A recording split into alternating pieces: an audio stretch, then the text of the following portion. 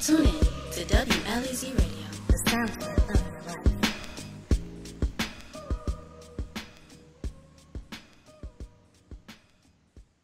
Hello, and welcome to another edition of JSU Connections, the show produced by students and mass communications faculty. I'm Dr. Sunny Fridge, along with my student producer, Mykela Croft. Hello, Michaela. How you doing this week? Hello, I'm doing fine. Well, you know, we're celebrating Women's History Month, and let's start with a few women from the Magnolia State. We'll give you one right now and a couple later.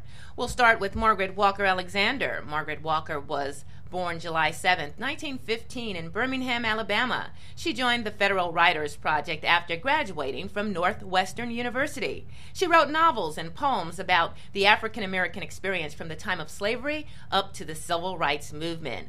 Walker taught at Jackson State University until her retirement in 1979. Now, as a professor of English at JSU, she founded the Institute for the Study of History, Life, and Culture of Black People. She was inspired to write the songs of her people from a diverse group of authors ranging from Phillis Wheatley, Paul Laurence Dunbar, and William Blake to William Faulkner and the prophets of Hebrew scripture. She was already an accomplished essayist, poet, and novelist. Now, at the forefront of a black studies movement, Alexander had the unique opportunity both to be mentored by the likes of W.E.B. Du Bois, James Weldon Johnson, Langston Hughes, Richard Wright, and Sterling A. Brown. And she also was a mentor to writers such as Amiri Baraka, James Baldwin, Nikki Giovanni, Toni Morrison, Maya Angelou, and Sonia Sanchez. Thus, the Institute and its mission reflected her complete immersion in 20th century African American history and culture. Well, today we have another young lady making history, an aspiring writer. Our guest is a mass communications junior. Akayla Harris is a 20 year old writer, poet, blogger, and motivational speaker. And she can now add author to her list. She's just released her first book, Liberation The 20 Year Journey It Took to Heal My Soul. Welcome, Akayla Harris. Hello, how are you? It is so good to see you. You're a student here at Jackson State. You're a member of the JSU chapter of the National Association of Black Journalists. And now you are a writer, and we have it right in our hands, hot off the press. Liberation, the 20 year journey it took to heal my soul. Now, before we talk about your book, we want to talk a little bit about you. And what I'd like to find out on your blog, it says, I'm a simple woman. It's complicated. Yes, so, ma'am. who is Akayla Harris? Um, Akayla Harris. Uh, first of all, she's a lover. Um, I'm a lover of all human beings, and that transcends, you know, beyond religion, race, uh, all of that. Uh, and at my core, I really just want to help people, uh, which is why I founded my foundation, uh, A New Breed.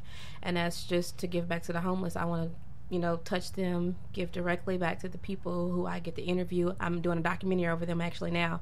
So, uh, that's that's who I am, the essence of who I am. Well, now tell me, what was the inspiration for writing your book? Um, I it, it honestly it was a point where I thought I was going to break down, and uh, that's when I realized uh, somebody else needed to know how I made it through. Uh, so I started documenting from my earliest memories, you know, that I could I could possibly remember uh, everything that I'd been through to the point of where I was about to break down, and um, and this and just who I am today and what kind of person that made me. Uh, I just wanted to inspire somebody else along the way. Well, I can tell you your book is inspiring. And, you know, um, I saw at the beginning of your book that you dedicated the book to your grandmother, Lois Jean McCollum. Yes, ma'am. And tell me a little bit about her and what she meant to you because very early on in your book, you talk about her. Right. Uh, my grandmother, she was my everything. I love my my mother. Always left me with my grandmother when she went to work or went out with her friends or anything.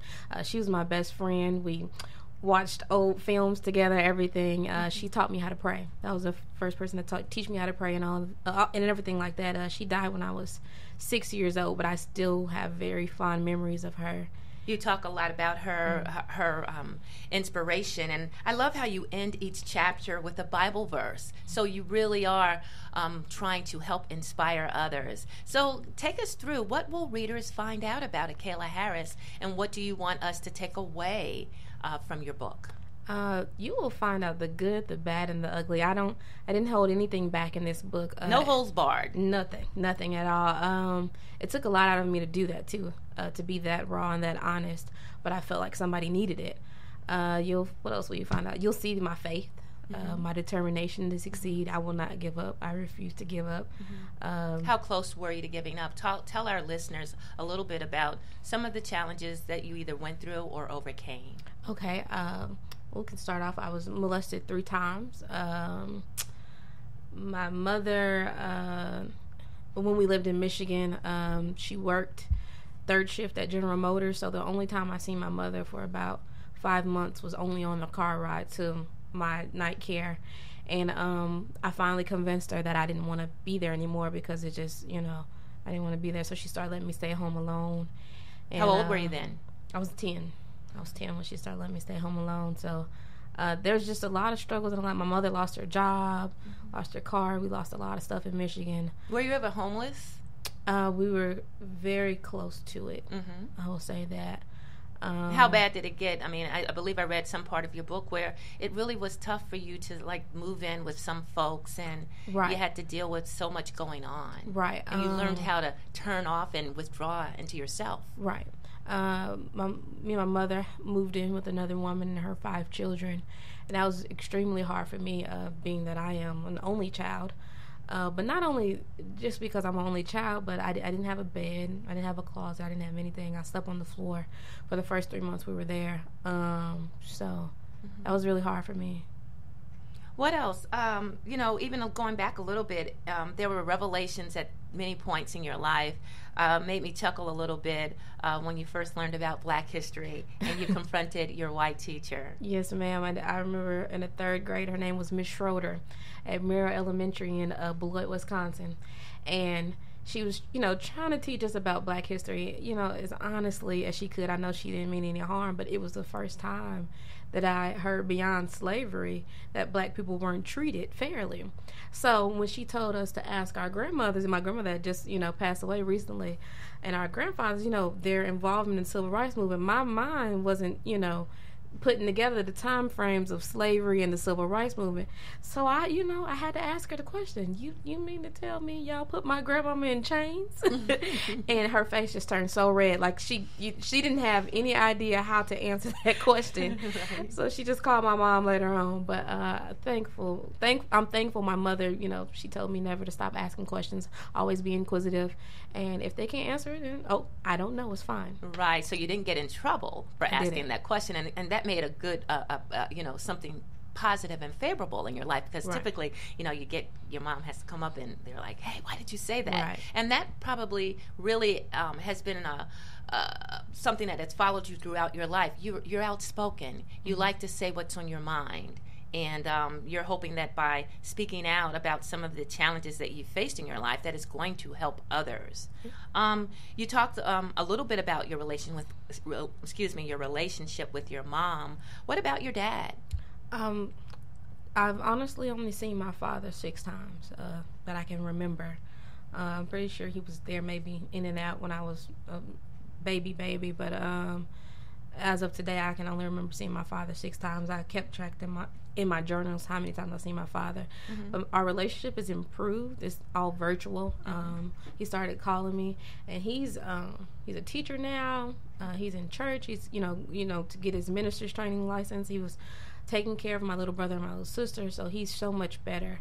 And I uh, I let go of you know any of the resentment I held toward him for not being in my life, being in and out of jail and drugs, whatever. Uh, just because I couldn't do that. Um, I don't want to die on bad terms with anybody. hmm Now, I wanted you to read something um, in your book. Um, also, I would like to let our listeners know that your your book includes uh, um, things from your journal, poetry. Um, sometimes you would just remember things as it comes to you. Sometimes it was really hard for you to remember things, but it was all about about getting through that process and growing and healing. What will you read for us? Uh, I'll read. Uh, it's on page forty-five. I'll read um, a letter that I wrote to my father Mhm. when I was younger, um, and God too. And I said, Jesus, I know you love me, but it seems like you hate me. I don't have a way to church, and a lot of bad things have happened to us since we moved. I'm sorry for letting you down. Can you please tell my dad that me and my mom need him now? Everything was okay at first, but now it's not. Maybe she'll want to be with him again. I just want a normal family. God, please help us. If you hear me, can you do something by next week? I'll do better in school and I'll pray more. P.S. Could you help me get in contact with Jesse? wow.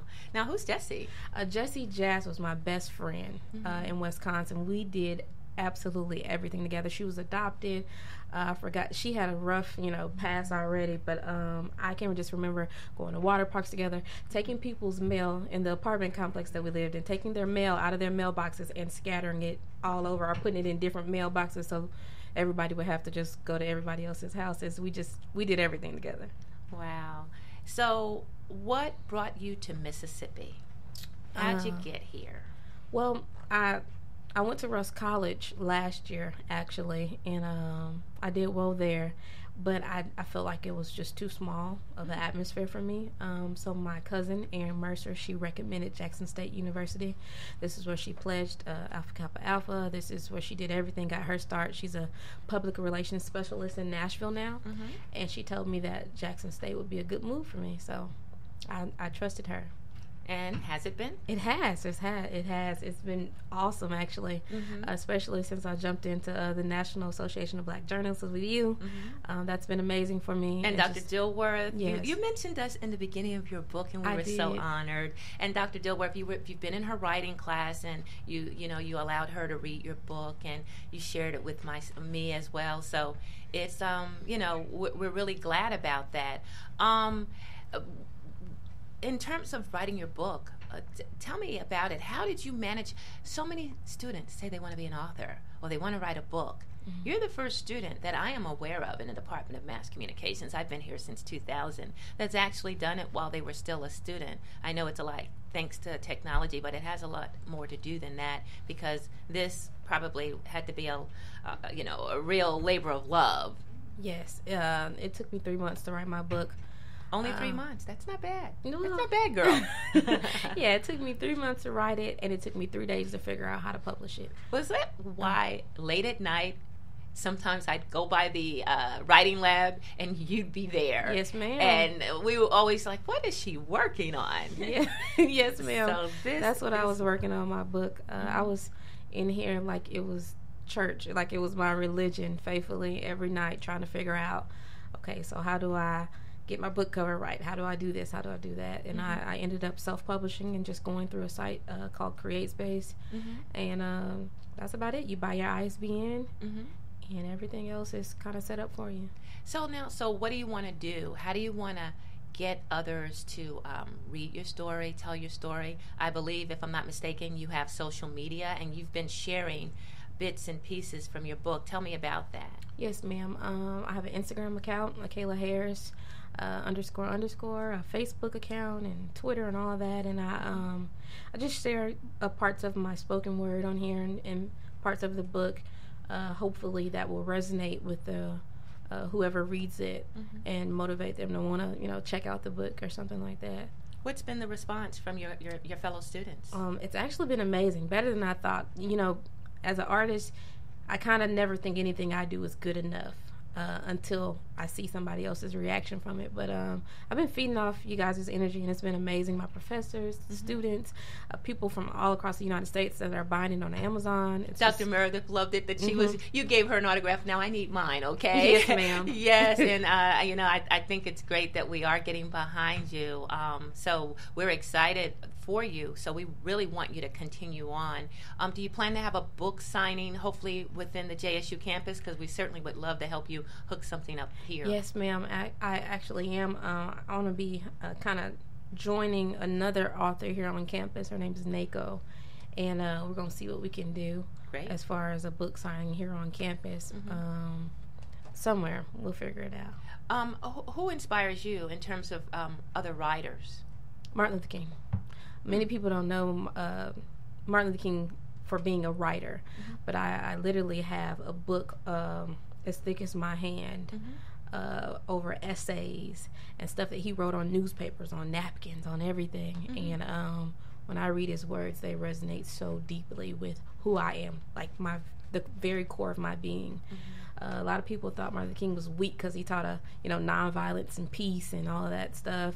Um, you'd be shocked to see how many uh, African Americans did not agree with his tactics uh, because when he started doing what he was doing, marching and protesting and stuff like that, that meant now the, the, the dogs have to come to our neighborhood. Now the KKK has to come and bomb our homes, not only yours, you know. So a lot of people just wanted peace, but he was really a you know a revolutionary. He disturbed the atmosphere completely Right. of what people wanted, and that's who I am. I um, I say what I feel, and I and I leave it at that. I'm um I feel like God gives me revelations about things that I need to tell people, uh, young people especially. Um, and, and it's not going to be agreeable all the time, but I'm okay with that. I'm okay being a person that's not liked by all Right. of for the greater good. I think I found that out early. we can ag- we can agree to disagree, Yes, can't ma'am. we? Wonderful. Now, on the back cover of your book, I love what you wrote, and I just wanted you to share that with our listening audience. Okay.